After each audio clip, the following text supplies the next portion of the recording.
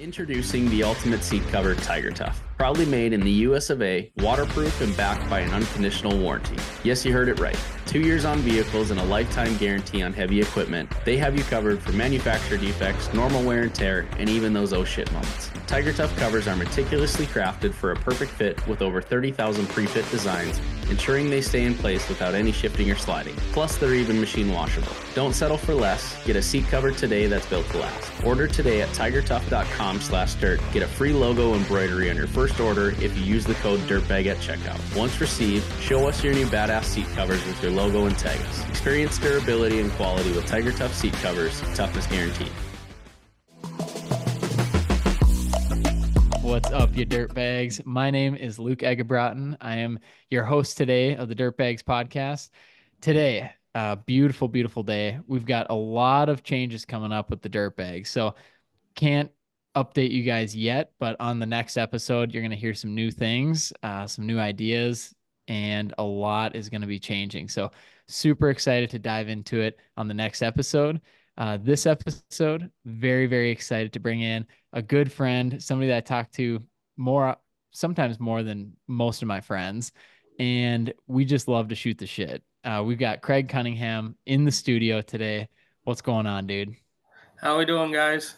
Oh man, it's good to have you on. I love how we're matching shirts right now as well. And oh, yeah. uh, got that, that. got that dark green. Um, dude it's uh it's an honor to have you on. You you messaged me earlier today. You're like hey i've got we've done this a few times. You're like i've got some time. Let's jump on a call shoot the shit. And i was like dude let's just record it. And because i know we've we always dive into business. We always talk about hiring firing contracts business growth marketing like all this fun stuff and i was like what a fun opportunity to bring you on the show and uh, bring on your first podcast yeah, yeah, this is exciting. A little nervous, but it's gonna be fun. So, absolutely, dude. So, um, to start off, uh, let's go through a little bit. Give us kind of the overview of you know who you are, what business you're in, and then we'll kind of dive in from there. I know we've got some great stories to dive into, but give give us the runaround of who you are and what you do. So, my name is Craig Cunningham. I'm from New Hampshire. Um, currently running a sewer and septic company called Septic Express. I used to own a excavation company that did house lots and some subdivisions. I did that for about four years. Realized the overhead was just too large, and I wasn't enjoying it. So I started getting more and more sewer and septic jobs, and decided that that was a lot more interesting and a lot less overhead and a lot less headache than it was to run a full civil site work company. So I'm slowly still doing the transition, um, and that's basically what I've been doing for I started up Septic Express probably this spring, and yeah. um, been doing that ever since. We started doing a lot of sewer inverts. So most people in New England know about the brick and mortar sewer inverts, but I've noticed around the other parts of the country they do full concrete. So around here we take basically sewer brick, and we have small tight joints, and we build like a little I'd call it like a moat or a swale to connect in the manhole to connect the sewer pipes together, and it um it's kind of like an inspection inspection port, or if you have a clog in your in your main line, you can kind of just run a snake, run a camera down it, and I have I'm trying to think of how to explain it correctly, but basically it's kind of like an inspection port. And yeah. I think the reason why we use brick, I haven't really gotten a real answer at anybody, but from what I understand is we use a lot of salt on our roads and it eats away the concrete. So mm-hmm. they use a lot more brick than concrete because in a couple years there wouldn't be an invert anymore versus right. like Florida. Yeah. So when you, I mean, you said you started Septic Express last spring. You've obviously been in the industry for a while. Did you know how to do a lot of these uh, septic jobs when you started, or has that just come as you're jumping on these jobs and taking care of them? So when I was 16, my sister was diagnosed with liver cancer, and um, I decided to go to work. So I dropped out of high school, went to work to help pay the family bills, and mm-hmm. just ended up here around I think 19, 20 years old I was working for a guy. Um, he's no longer in business. He wasn't. I don't know how to put that guy into perspective, but he wasn't a very good business owner. But I looked at him and I said, "Well, if he can do it, I can do it." So sure. that's when Blue Bull started up, and I just started taking on projects. I mean, I dealt with a lot of crap shoots growing up, dealing with the site jobs and stuff like that. So I was able to just take it by the reins and just keep going and going and going, and it just kept growing. And most of the jobs that I was jumping on, I didn't know a goddamn thing of what I was doing, yeah. but I said, "Hey, it looks fun." So jumped on. I hired on a couple of guys that were older than me that had more experience, and I would learn from all of them, and they taught mm-hmm. me. I have a couple close buddies that are a lot older that have been in the industry a lot longer, and when I have questions, I usually just call them, and they kind of guide me through the way of figuring it out and fixing it. Yeah, absolutely. Yeah, it's funny when you just jump on and you start doing things and learning that way, but also like coupling it with uh, continuing to educate yourself and figuring out like what do we want to do and why. And that's also being part of a business owner, uh, part of your job. And so I thought it was great how you brought up, and obviously it's it's not a knock on anyone, but just like sometimes you, if you want to start your business, sometimes you need to look around and see other business owners and be like, wait, they're doing it and they're they're doing a great job. And no offense to them, but I feel like I could. They're no better or worse than me, so I could absolutely do this. And it does come. You do have to have kind of that that crazy mindset, and you have to be hungry for it, and you have to be an entrepreneur deep down at heart, and you have to be willing to take those struggles. But uh, yeah, you can absolutely get out there and do it. So, um, transitioning then I'm curious to hear your thoughts because uh, I see the excavation industry, and when mm-hmm. whenever somebody asks me if if they're getting started in excavation and they're doing like uh, gravel driveways and building pads and things like that, it's very difficult because you're competing with everybody, everybody that has a skid steer, every neighbor, everyone that has a little tractor, uh, and everyone that can do it cheaper. But when you get into septics and underground utilities, all of a sudden there's a layer of you got to be certified or you're a public health professional or there's these there's this layer. So was that any of your decision making did that go into your decision making of going into the septic world or how did you kind of transition over into that space? Um transferring over it was more of nobody wants to deal with shit. Yeah. Nobody that really wants to deal with shit. That was the biggest thing about sewer inverts was the older masons that were passing away because obviously like my generation nobody wants to work. So there's a lot of people that don't want to do the sewer inverts anymore and that's where i kind of found my niche there. Mm. and like i've installed plenty of septic systems around here. There's plenty to go around for people to do. And i mean just everyone's doing septics. It's just a thing around here because we have i think i want to say maybe 75% of new hampshire is on a septic. Mm. um, besides obviously our main cities. I found out one of the boony towns around here actually is on sewer and not septic, which kind of surprised me. But majority of the towns around here, like I'm on a septic. About just about everyone, everyone around here is normally on a septic, besides like a couple of the main cities around here. So, and these houses, because it's New England, they've all built way back in the day, and these septics are still the same ones that were there. Mm. Versus like when you're on the West Coast, where you're still gonna have kind of a newer system. yeah. You, you got systems here from the 1800s that is just a freaking poop tank. So wow, what? uh Yeah, I guess if you go into that a little bit, typically when you get a call and let's say there's something going on, there's something wrong, something's busted, like what type of material do you usually dig up, and like what what type of material were these septic tanks? So there are still majority of them are concrete. We rarely see yeah. a plastic tank.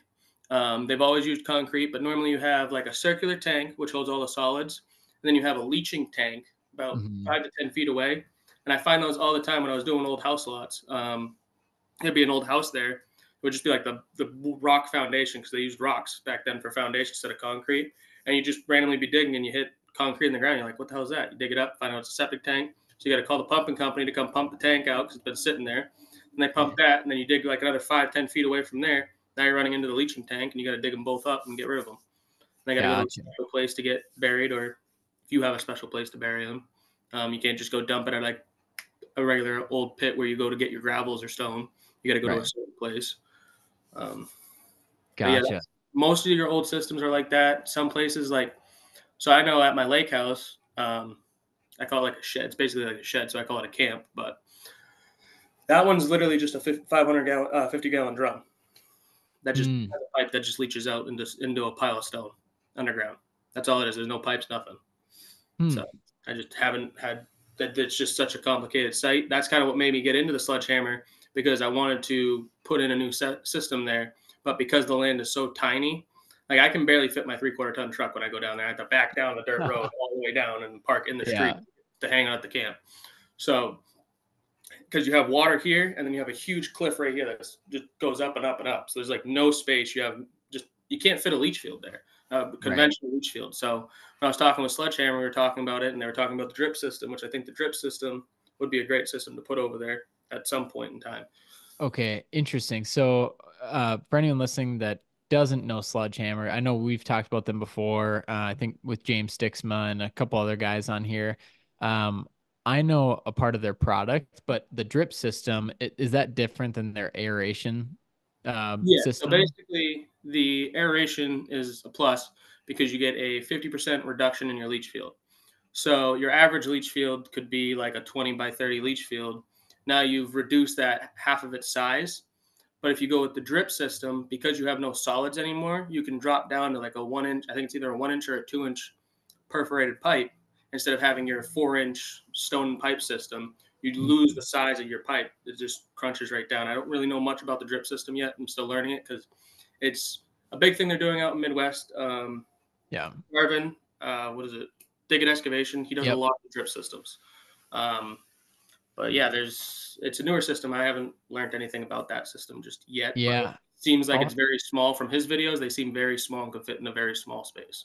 Yeah, I'll have to talk to Durbin about those. Um, I'm going actually going out to their they have the Michigan Septic Tank Association conference again, and I'll be going out there and, and speaking next year, and I get to hang out with all those Michigan guys as well. But uh, they're fascinating out there because they've got such a tight knit group and this huge conference. Like they bring like 250 from all over the state, uh, but they truly, which I totally agree, see themselves and set themselves at a higher standard of you know we're not just um, septic pumpers, you know, we're technicians and we are public health professionals and they pass that down to their team as well. So I just think it's fascinating to see. Would you say that the septic industry is an old industry that is now starting to see some innovation? Yes, there are very, there's kind of like the dirt industry, but they're a lot harder around here where it's just the old men and they want to do it the old way and they don't like new technology does that kind of open it up for you though as a young business owner to come in and do things a little different? Definitely i feel like that's another reason why i went sewer and septic is because it's such an old industry with old techniques and old just old things. Like when you look at darvin's company he has all the coolest technology has all the newest technology newest trucks everything like that. Around here not a lot of them have the brand new the brand new stuff. Everyone has a brand new triaxle around here everyone. Nobody has mm-hmm. anything mm-hmm. old. I think i pretty much have the oldest truck around um, but that's another story. oh yeah, we'll jump into that one in a bit. But um, yeah, everyone has somewhat of newer trucks, um, decent equipment, but there's not really like no one's using a GPS to set their system. No one's doing mm. um, like the high tech SludgeHammer. I think I am one of the only. I think it's me and possibly I think another guy in New Hampshire that offer the SludgeHammer system, and no one's gotcha. even really interested in it. But correct me if I'm wrong. I, I believe they have to get like approved to be in a state, right? And like SludgeHammer. So like there's certain states where they can't be in that state yet. Like the maybe the regulators yeah. won't allow it. Yeah. So it's it's still new enough to where hmm. they're not educated enough. Like I tried getting the Earthbuster approved in the state of New Hampshire, but I couldn't get that approved. So that's a whole nother gotcha. system for a whole another situation. But that's they were calling it fracking, which I don't know much yeah. about yet. Basically, what it's supposed to do is blow holes through the geomat so that your leach field can now leach again because your mm-hmm. geomat is so thick, it's like a giant sponge and just absorbs everything until it can't absorb anymore. And when mm-hmm. it can't mm-hmm. absorb anymore, your leach field is not leaching anymore. Gotcha, gotcha. Oh, dude, I love it. So, uh, we've got so much to talk about here. So, I want to stay on the the business side for a little bit here. So, um, let's say you're a year and a half in, correct, with Septic Express? Mm, maybe not really. No, I, not even a year yet. Or no, sorry. So you said the spring. So not even not even a year. So what during this time, as you've you know transitioned, as you're in the septic industry, what have you learned from the business side, like as a business owner? If you could change anything like as you started, like what would you go back and change as you just started your business in the spring? Probably the paperwork. I wish like I was doing that right away Yeah. that um because I kind of focused on more of trying to market it and get it out there more than paying attention to what I'm doing in the background. I'm paying Mm. more trying to get myself out in the field, get myself busy, than actually focusing on the actual office stuff that needs to be done. Yeah. And when you're starting out, like you can't have it all. Like you can't have a full team, a full office staff because you're you can't make that payroll every week. And so you do have to wear every single hat when you start. But then what was the first thing that you did delegate off of your plate? Like was it like what was the first thing that you said I probably shouldn't be doing this? Was it taxes, the legal stuff, operating, office work? Like what was that first thing? That I took off the plate. Yeah. Or that you will take off your plate. Oh, all of it. It's all going straight to the office person. there you go. She's got it. Um, we're good on that one. She can take basically the whole entire office stuff, and then obviously if there's questions of like the actual important important stuff, I can guide her through it. But most of it, she's probably going to handle all of it. Perfect. So this office person, have you hired her yet? Um, what what does her role look like, and how does that help your company? Her role. I don't really have a name for the role yet, but basically, she. I've known her for I can't even elementary school probably. She Mhm. graduated first of her class. She's got the big degree of business school. I think you called it. What was it again? uh, MBA, a Master's of MBA. Business. She got she got the, her master's in business. Um, she's got all the education for it. I mean, I've known her, I've seen her. She's helped me with Blue Bull paperwork when I was struggling on Blue Bull paperwork before. Um, technically not hired. I just called her. I was like, hey, I don't know any of this crap. Can you help me? And we sat down for like three days going through all the books and the paperwork and getting Mhm. it all straightened out so that I could actually do it right. So she's helped me in the past. It's just not full time hire. Now she's going to be like, hey, when you have time, like basically once a week, she's going to go through the books and the paperwork and the invoices and the and all the estimates and quotes to make sure everything lines up and the, basically the uh, I can't even speak right now. The um, what's the word for it? I don't know, but yeah. So make sure everything's just straight and taken care of. Yeah. And so she'll start one day a week, you said, or will, Yeah. and then it'll kind of ramp up from there potentially Yeah. if things go well. If it gets busier to where I really need her every single day, it'll potentially switch over to a full, full, full time job for her. Yeah, and I feel like there's there's definitely, and I know we talked about this in the shares landscaping episode, and there's definitely levels to hiring, and like sometimes you might just need an office admin or an office assistant, somebody just to do like some of the basic things, and then probably more in this case, more of an office manager, somebody like come in and really take the bull by the horns and like take the business back under control on the office side, and there's no right or wrong answer like for every business, but um, every business has a different situation. So I'm sure as you're looking at your business, you're like, I can't be doing everything in the office to the level of quality it needs to be done at and do everything in the field. So this seems like it was a will be a good hire for you to to kind of take you to that next level. Definitely, 100%. It's definitely needed because trying to stay in the field and focus in the field, and then while I'm in the field trying to think of how I'm going to do the books tonight before I go to bed or before I pick up my daughter is just it's not just doesn't work anymore. Yeah. Yeah, absolutely. So uh, I want to dive into a little bit more on some of the issues you've had when you started. Um, more so, let's start with like the trucks. You know, I believe you bought was it two two pump trucks for Three pump trucks. Three pump trucks. So you just start this business and you buy three pump trucks. I remember you texted me. You're so excited. You just bought three trucks for 25k or something, or I think it was twenty five or twenty eight thousand dollars. Yep. Okay, so walk me through how that transpired, how and why you bought them, and then just kind of the story uh, from there. So I had decided I was like, you know, I'm gonna switch to just pumping sewer and just pumping septics. That's how I originally wanted to start. It was just pumping septics, and if a septic Mhm. system ended up being failed, I'm like, oh, I can replace that. It'll be easy and work my way through it that way. Well, one night I was scrolling through marketplace trying to find one. It was like two o'clock in the morning. He pop the Peterbilt pops up, and he he wanted like fifteen thousand for it. And I said, okay, well it's Peterbilt. I like Peterbilts, and uh, the ten wheeler. That's exactly what I was looking for. So I drove up there that morning, and he had the three other trucks. He actually had five trucks.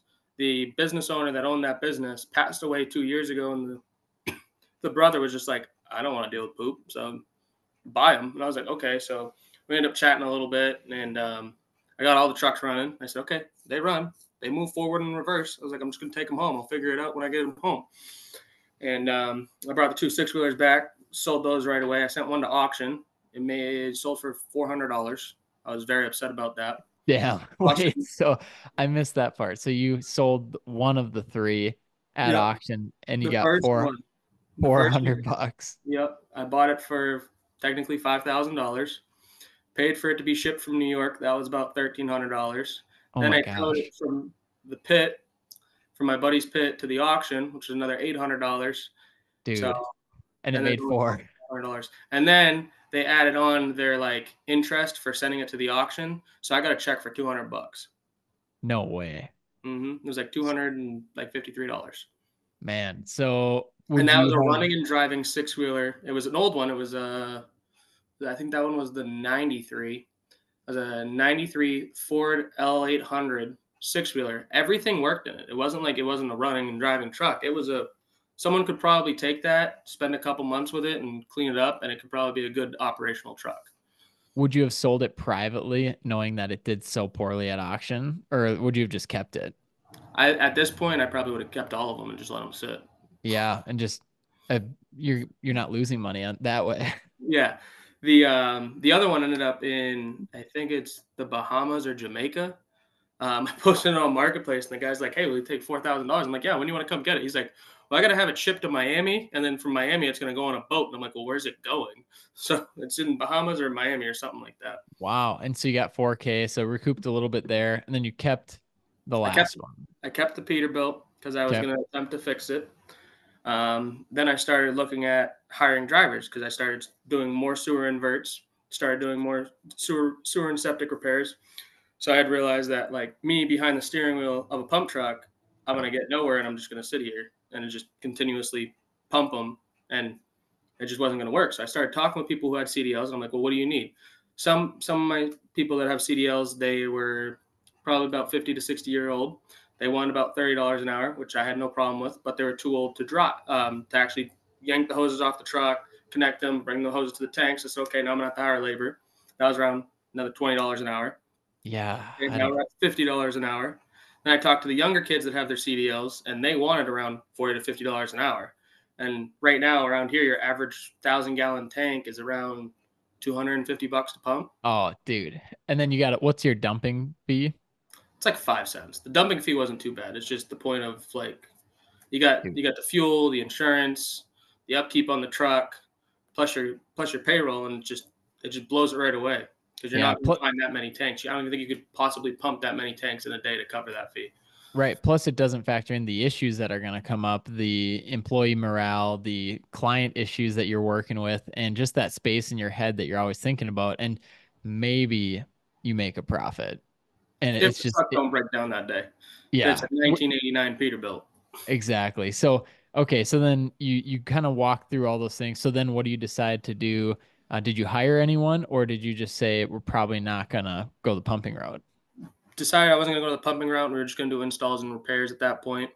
Um, then I sat. I, put the truck up on marketplace for about I don't know, maybe three months. Had probably thirty people come look at it, thinking it was a brand new Peterbilt, and they nitpicked at the truck and they're like, "Well, this is wrong with it." I'm like, "Well, it's a '98 Peterbilt that has pumped shit its whole entire life."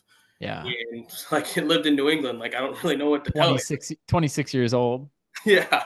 So um now it's sitting in my buddy's pit still, and the process now is probably going to be turning it into a dump truck because I could use a dump truck more than I could use a pumping truck just sitting in a pit because I own the asset outright. So there's I got to find a use for it somewhere.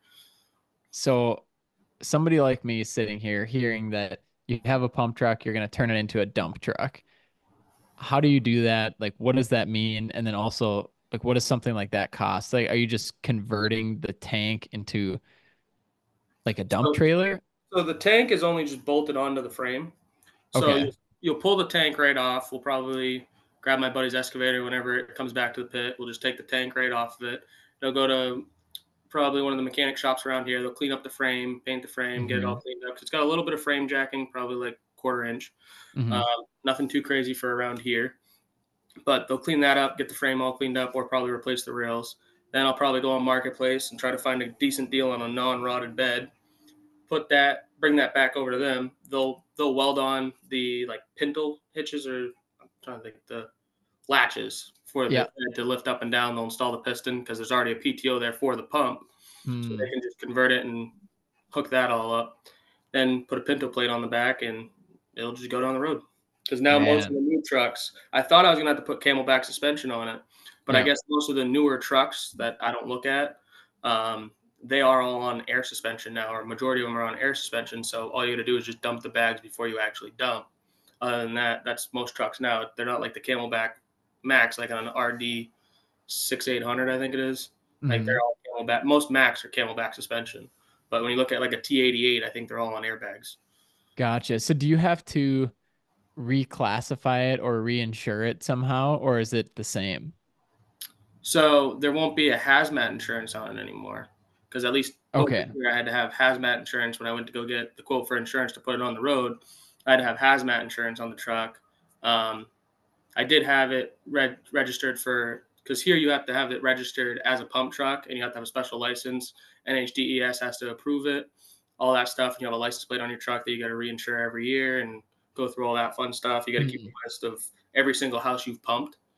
Um, you have to have a whole list and you have to give it to the pump station every time you go there too. Gotcha. So this will actually kind of free up some of that. It sounds like. Yeah, a lot of the paperwork headache is now gone from it be turning into a just a regular dump truck. It'll just be DOT numbers. Well, technically, I'm not 100% sure on this, so someone else will probably say that I'm wrong, but I think New Hampshire, you don't need DOT numbers if you don't drive the truck out of state, but I'm still going to put DOT numbers on the truck regardless. So it'll have DOT numbers, um, it'll get repainted. It has to have your logo on the door, just all your basic stuff, and just be Yeah. legal to drive down the road at that point. Yeah, interesting. Dude, I love it. I uh when you were kind of when you brought that up, I was like, we got to unpack this here because how do you and it's, it you make it seem so simple and somebody like me just is trying to conceptualize like how does that work? But when you walk through it, it it, do, it does make sense. Okay. Yeah. Um, yeah, that's basically what that's going to end up doing. And then, um, yeah, I'm, actually waiting for a guy on Marketplace to respond to me because I want to put a service body on my truck. And Okay. we'll see. I found one down in Massachusetts I'm supposed to go get, but I haven't heard from him today. So, Gotcha. Probably. but So, you know, we're sitting in what late September, heading into October. What does your first winter look like in business, and how do you kind of prepare for that? And or does anything change in the in the septic space? So nothing really changes in the septic space. If someone needs, so we can't dig in the road anymore. So I can't go into Manchester and dig up a sewer line. I think the cutoff for that is between November and March. We're not allowed to dig in the road at all unless it's literally an emergency and like there's a hole in the road. That's the only Oh, way you're allowed to replace a sewer line because of the frost and you could damage the road and all that stuff. Um, so there's no more digging in the road, but a septic system we can you can dig septic systems all through the winter. You'll just have to go back in the spring and do your detail cleanup and make it look pretty in the spring. Um, Gotcha. But I normally do snow removal down in Boston. So I either work for Case Snow Management, which a lot of people probably know, um, and then there's Outdoor Pride, which is also here. They just I bounce between both of them every year, and I'm usually down in Boston because that's where the most activity is. hmm I'll go down there one snowstorm. I could be down there for four days straight, just plowing snow, cleaning up sites, doing removals in the big commercial properties. So I usually go down to Boston and enjoy that. Gotcha. So then you're just you're a sub for snow commercial snow, and then did they like put you up in a hotel, or do you head head back home, or how does that work if you're there for like four or five days? Depends on which company I work for. I haven't Gotcha. spent enough time with Outdoor Pride down there, but when I worked for Mhm. Case, I was down there for two weeks. They ended up renting out a whole entire hotel and they made it an Wow. operations center. And then after I finished cleaning up Boston, they put me on an airplane, flew me out Midwest, and I plowed out there for two weeks. By the time I got back, there was another snowstorm. So I probably wasn't home for like two months straight, just plowing snow because I got sent all over. Wow.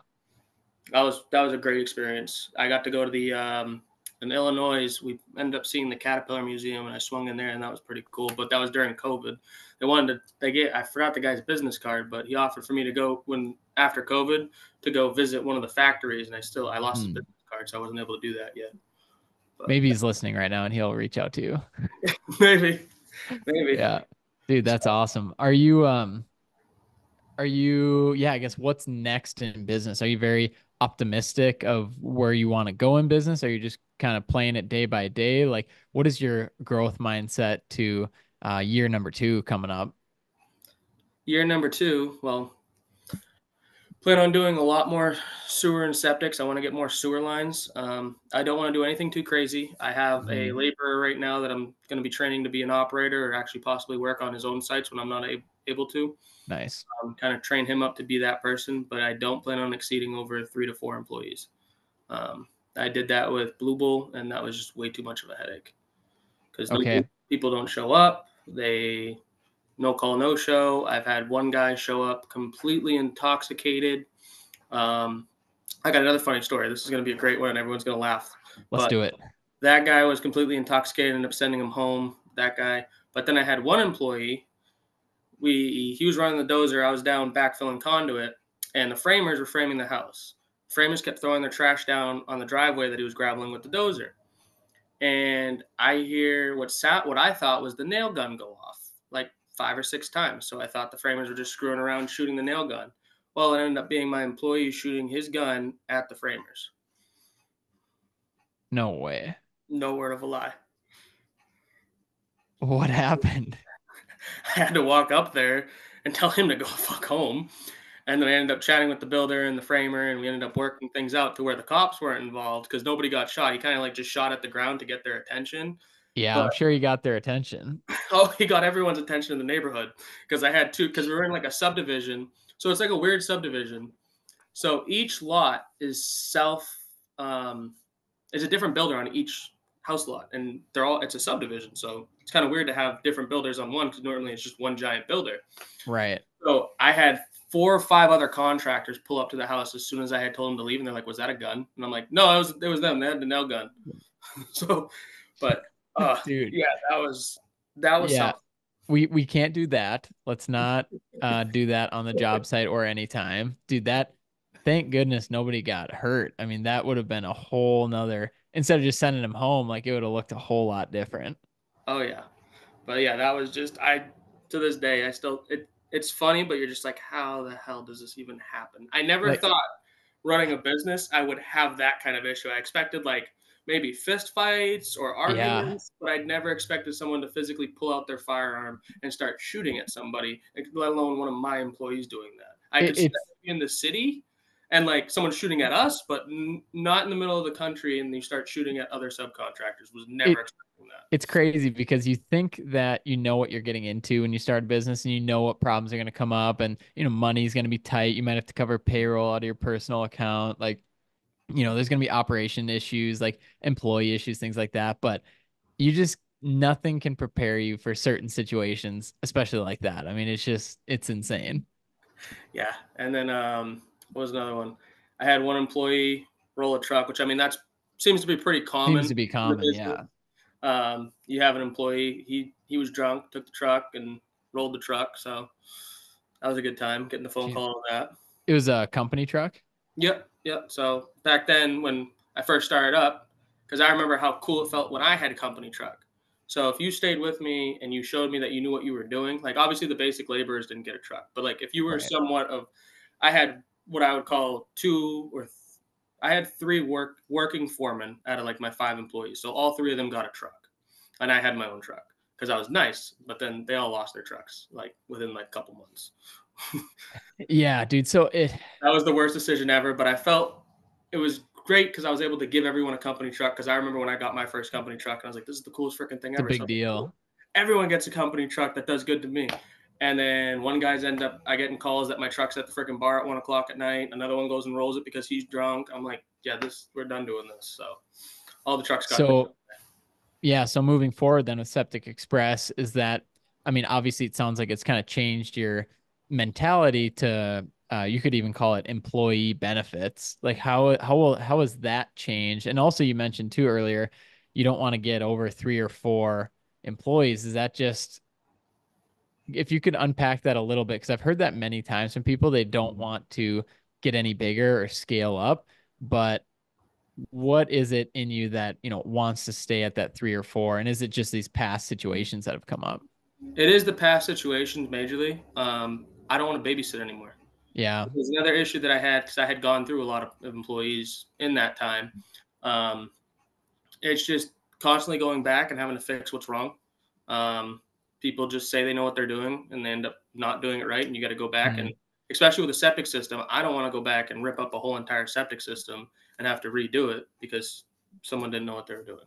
Yeah. Which yeah. I actually went into that. I actually messed up a couple months ago on a septic system severely, but ended up being more the designer's fault, I guess. But it's also my fault. I didn't read into the details too much. I ended up messing up a septic system to where we had to rip it up all together and redo it. So, Dang. So yeah, I, I like how you just kind of opened that up there, and you're like, it was this person's fault, but it was my fault because I didn't, you know, and it's taking that extreme ownership of I should have done gone the extra mile and and made sure that it was right. So, with something like that, is that just come up? Is that all labor that comes out of your pocket, or are there a lot of costs and materials in there as well? Well, you know, you're so it was an this system was an Enviro septic system, and um, you had to replace the sand because the sand is now quote unquote contaminated once you pull mm-hmm. it out. The materials are still all on site, but you have to have a rotator come in to lift the tank out because all the elevations are messed up. I messed up on elevations, which was embarrassing. Um, I messed up on the elevation, so the tank had to come back out. Yeah. Um, the field was just completely incorrect, which the designer put the stakes there and said that that's where it's going, but that wasn't where it was supposed to be on the plans. I didn't double check things. It was it was the first biggest fuck up I've probably ever done. Yeah. Um, but it was a pretty big fuck up. I will say that. Yeah. But it was, it was mostly labor and just machine time because mm-hmm. all the mm-hmm. materials were still there and you had to order more sand. Yeah. I mean, good for you for admitting that and also just owning it. Um, is that, did it get to like the inspector that then said like, no, this is not where no, we're at? We didn't, what? we didn't get to that point. Basically everyone, because it was, it was for a buddy of mine. We were doing it and, um, he came up and a couple of his other guys came up and we all sat there and we're looking at it. We're like, everything's fucking wrong. Everything. Mm. Like, well, how did how did I mess this up to where everything's wrong? And then we look at the design and then we're looking at the stakes and we're just looking at everything. We're like, well, everything's wrong. The plan's wrong. The field's wrong. Like everything was just wrong. So yeah. now we're, we're still waiting on the designer to actually answer our phone call and actually come out and readjust the field to where it needs mm-hmm. to be. Yeah, it's if we had put the system where they wanted it in the plans, it would be literally in the middle of their driveway to where they couldn't access their house. Hmm. yeah, it's interesting. It's I always think of like GCs and it, it's it's easy enough if it's just you that's the problem, but when there's multiple other layers to it and other people, it, it's tough because then you add in the communication, you add in uh, how they do the work, and and especially if they're not getting back to you, it becomes very tough to fix a mistake and uh and you know right that wrong. Definitely. Definitely but we'll get through it. We'll fix it just like yeah. dude, ab- absolutely. And and you'll have many more too and that's the great part about business is you have many more and they're just great learning moments and opportunities to just keep rolling and then you'll probably double check it on the next one. And you know now you know exactly yeah, and triple check checking what to do to avoid another situation like that happening again. Definitely. Yeah, good stuff, man. Um, so are you going to uh, are you going out to the WWETT show next year? Are you going to any trade shows to like kind of continue this education and, and networking and things like that? Definitely. I've been chatting with um, Andrew from, oh, why am I drawing blank? It's Andrew Septic, right? I'm thinking Connecticut. Komatsu. Oh, you're uh you're talking Brian and right. Andronico. Yeah. Yeah. Yeah, Andrew Septic. Uh, me and him are chatting, and I'm probably gonna end up going down and meeting him down there and just chatting away about stuff. I told him I was gonna come down. I think a couple months ago. I just haven't had the time to go down there and see him. So. Yeah, they're they're studs, and yeah, it's the uh, uh Anderson Septic, the Andronico family.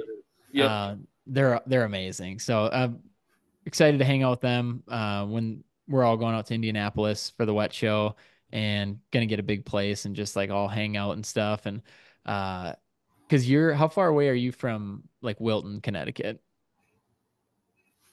I don't know. Hold on, let's double check. I'd say probably two hours. What'd you say, Wilton? Okay. Yeah, so you guys are like spitting distance from each other. I mean, that's that's yeah, close. three and a half hours is what it is. Cool. So not a bad drive, but it, it would be a whole day. So Yeah, right. Um, sweet dude. Well, any other last points we want to go through um, before jumping off, and also how can people get a hold of you if, the, if they're listening and they have questions or they want to keep up with what you're doing? Uh, what's the best way to get a hold of you and like kind of stay in touch with you there? yeah, um, I really use just Instagram really for that kind of stuff, but it's just Cunningham under dash forty nine, um, and then obviously Craig Cunningham on Facebook, and then I have a Septic Express Instagram that I'm posting on as well. I'm starting that up, um, but other than that, that's basically where I'm at on most of the social. I haven't started any of the other ones yet. I know we were talking about what's the other one that everyone does. LinkedIn. LinkedIn. Yeah, I still haven't even gotten to LinkedIn yet. I haven't done that. You'll one. you'll get there. And uh yeah, I know a lot of people that listen have started their LinkedIn from listening and just all the guests and people we talked to that that rave about it and myself and Luke. Um but yeah, dude, it's uh even just being on Instagram, Facebook, I mean, you're well ahead of of a lot of other people. Not saying that that you only have to do that, but it's uh, it's just good to communicate and learn and educate yourself from others out there, um, especially others listening to the podcast, others on Instagram, and just continuing to you know sharpen your sword and like continue to grow in your business.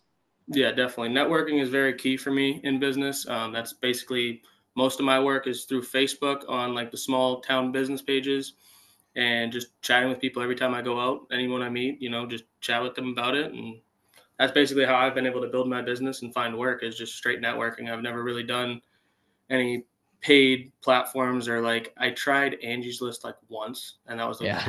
decision I ever made in my whole entire life. I've Uh, heard that way too many times from people. It's uh Yeah. and I always tell people like if if you because Angie's list and some of the other pay per lead systems, they can be okay. Um, but you have to realize that the people who you're getting the lead, like they didn't find you, they found Angie's list. And so they might not know who you are. And usually the lead quality uh, can suffer. But if I talk to somebody and they're spending thousand bucks a month and they're generating fifty thousand dollars a month in revenue from that, I'm like, hey, keep doing it because it's working. But most of the time, I just hear horror stories, unfortunately. Definitely. Yeah. That's the biggest thing that I've learned is just networking and chatting with other contractors. That's a big thing that I've built. Um, was just networking with all other contractors that are locally with me and just not chatting with them about like, hey, can I have work? It's just establish a friendship with them instead of trying to get work from them. And if you establish a friendship, I mean, eventually work's going to come out of it, but you're also going to gain a new friend and someone that you can um, ask questions to Yeah. and just work with and try to like if you get stumped on a job you can chat with somebody that you have now made friends with that possibly could know more than you and could help you in a rough situation Yeah, absolutely. I think that's so key because sometimes people just try and be a friend with somebody just to get work out of them. And you can absolutely see that from a mile away. And it's like, you got to go back to the basics of just building true, real, real relationships. And those will carry you through business. Um, nothing will replace word of mouth marketing or referral based marketing. You can always accentuate it with other, you know, avenues and divisions, but also that is always going to be your best source is word of mouth and just people trusting you and saying, "Hey, go with these guys." yeah definitely Sweet. definitely. All awesome right, Craig. well awesome. Uh, awesome podcast. So absolutely, dude. So glad we had you on. And uh, yeah, this will actually be coming out tomorrow. So let's uh, get right to it here. I'm going to send it over and uh, we'll be staying in touch here. sounds good appreciate it All right, boss. See you soon, man. See ya.